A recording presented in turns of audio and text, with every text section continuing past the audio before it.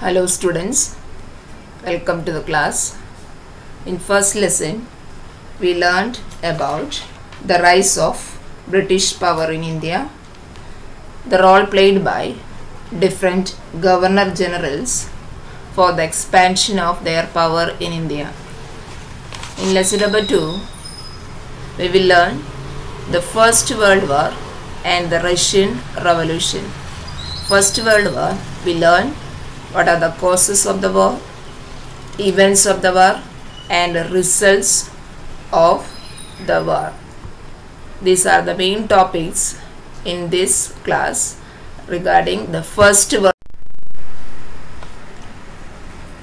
Now we learn colonialism in West Europe, Asia, and Africa. Western European countries they were expanded their colonies. Spain got control over Netherlands, Belgium, and Luxembourg. France captured some provinces of Spain. France and Austria colonized Germany and Italy. Now, the colonies established in Asia by European powers. England colonized India.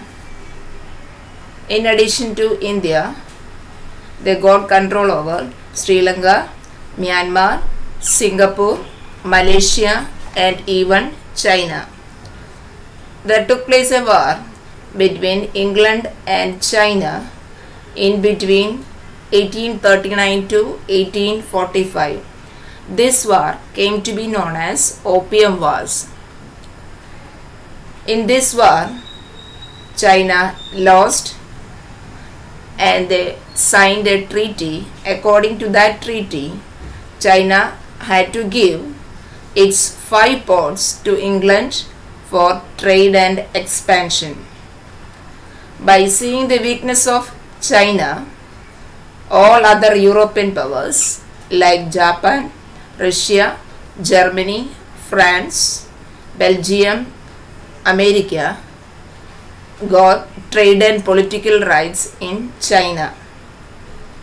So all these countries got profits and enter into trade and they establish their trading centers and oil companies in Iran, Iraq, Kuwait, Saudi Arabia and Bahrain. In these places, they established their colonies. Now we learn colonialism in Africa. Africa had very large province. After industrial revolution, there was a great demand for raw materials.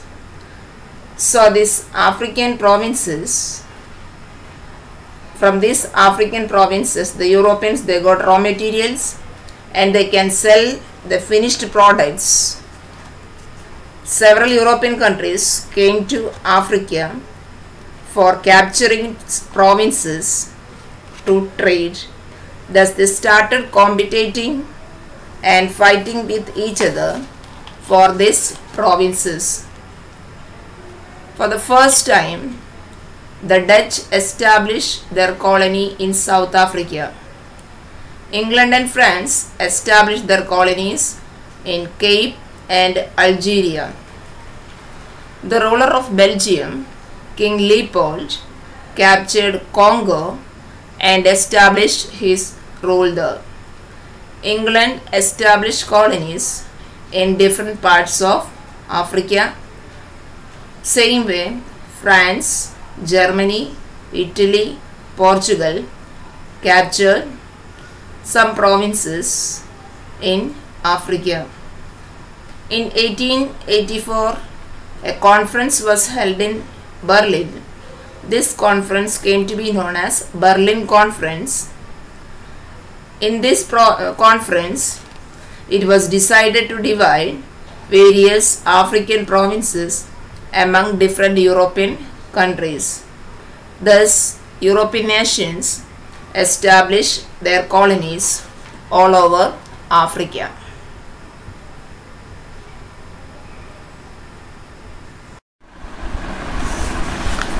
Now we learn the First World War. The First World War was considered to be one of the most devastating and unforgettable events in the modern world. It began on 28 July 1914. The important causes of this war were Frankfurt Treaty, economic factors, militarism, secret treaties, feeling of extreme nationalism, role of newspapers, philosophy about wars, immediate cause. First one Frankfurt Treaty. Frankfurt Treaty was signed between Germany and France. A war took place between Germany and France. This war came to be known as Sedan War. Sedan War came to end by signing this treaty. In this war, Germany defeated France and France had to pay a huge war fine and give away its two provinces, Lorraine and Alsace to Germany. France was humiliated and he wanted to take revenge. Second reason was economic factors. England established her colonies in Asia and Africa. To keep earning from its expanded markets by selling goods produced by English factories, in these colonies, England wanted huge raw materials. So, a situation came in which the Germans started to supply goods at cheaper rate in Germany, in Asia and Africa. So there was a strong competition between England and Germany and France. This competition for capturing markets became an important reason for the First World War.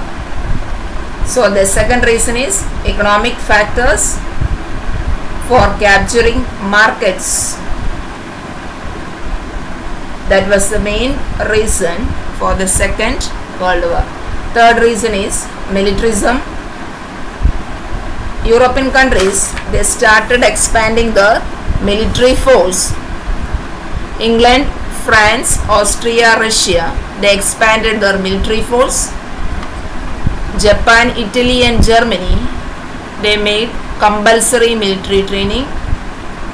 Thus militarism increased and military competition added to economic competition which then created an atmosphere of war.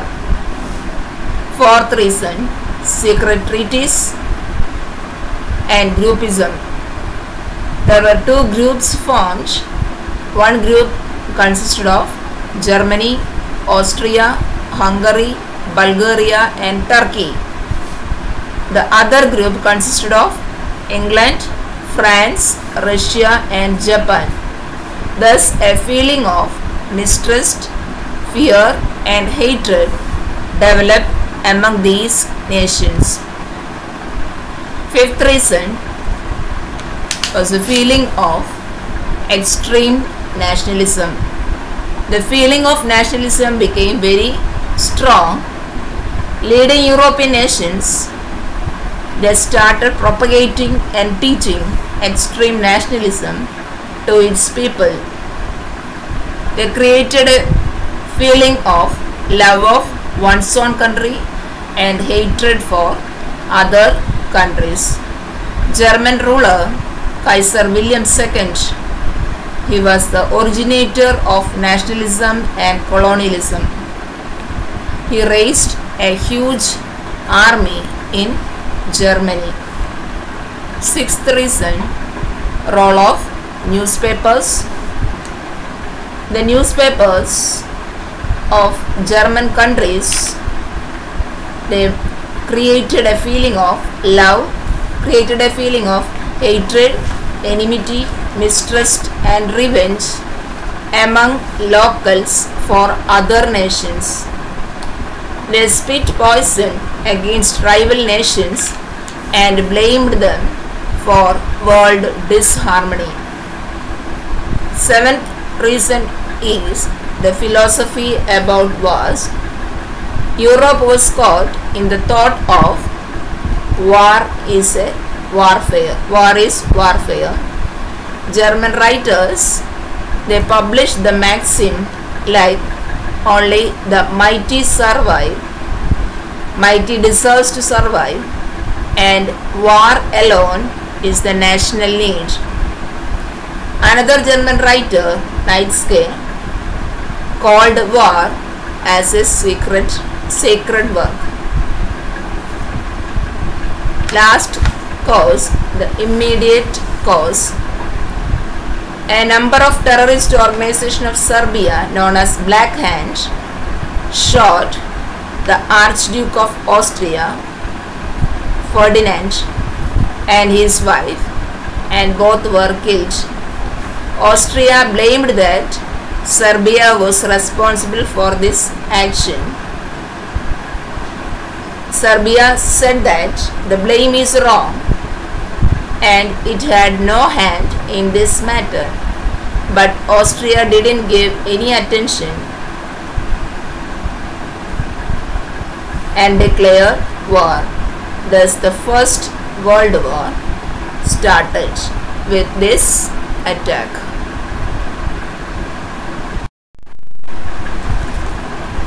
Now we learn the course of the war or the events of the war. During the First World War, there were two groups. They were known as Allies and Axis powers. Allies consisted of 24 nations. Among them, the major nations were Great Britain, France, and Russia. The Axis powers consisted of four nations Germany, Austria, Hungary, Turkey, and Bulgaria. In 1917, the Russian Revolution started, so Russia withdrew from the war. By this time, Germany had become very strong. Germany drowned an American steamer, Lusitania, in which 147 American soldiers died. As a result of that, America joined the Allied powers in April 1917 and entered into the First World War. By seeing the footsteps of America, countries like Panama, Greece, Cuba, China joined the Allied nations. Thus, Allied nations became stronger. With the entry of America into the war, the course of the war changed. German army could not withstand the American army. Three out of the four countries of Axis powers, namely Bulgaria, Turkey and Austria left and joined the Allied nations. Thus, Germany was left alone. German Kaiser William II abdicated his position and ran away. Finally, Germany surrendered to Allied nations and signed a treaty. Thus, the First World War ended on November 11, 1918 with Germany's surrender. So in this First World War, the Axis powers lost and the Allied powers got victory. Now we learn the important results of the First World War. First one is the destruction of men and material. More than 6.5 crore people took part in the war. 1 crore died and 2 crore got injured and 70 lakh became handicapped. A very large number of people died because of starvation and epidemics. The total war expenditure was uncountable. Thus, we can say that it created the destruction of men and material. Second result was the social change. During the war, majority of the men involved nations were in the war front. So the responsibility to earn and feed the family came on the women. As a result, women stepped out of their homes and they started working. They took the responsibility and they entered into different professions. Their self confidence increased and became equivalent to men. This made women aware of their rights and they demanded the rights. During the war, the production of things necessary for life reduced. As a result of this, there took place scarcity, unemployment, starvation, strikes, lockouts, etc. People suffered a lot, especially old age and children. Their condition was miserable. Third important result was the Treaty of Versailles. The First World War ended with the defeat of Germany in, in front of the Allied nations. To maintain peace after the war, the Allied nations started peace process in Paris. About 58 commissions were formed and 145 meetings were organized in the peace treaty. During this process, the Allied nations signed a treaty with Germany in the Mirror Palace of Versailles, city of Paris. This treaty came to be known as the Treaty of Versailles. The Treaty of Versailles had four provisions. First one, regional arrangement. Second, reduction in troops and disarmament. The arrangement of distribution of gains at the end of the war and war fine. Fourth one, other provisions. These are the four provisions given in the Treaty of Versailles. Germany was held responsible for the First World War, so as a result, it had to pay a huge war fine. It had to give its provinces to other countries. Then most of the German organizations were confiscated. So because of these treaties and conditions, the German economy failed. It was unfair and these forced treaties created a feeling of strong bitterness and desperation among Germans.